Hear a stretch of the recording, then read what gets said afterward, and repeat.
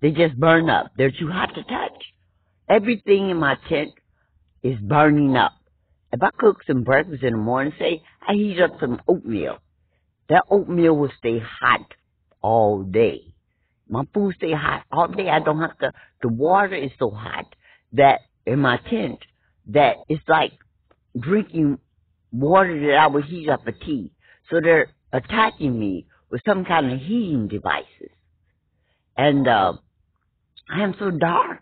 My skin has turned dark, even though I very seldom go outside. My skin is very, very dark now, like I'm being burnt.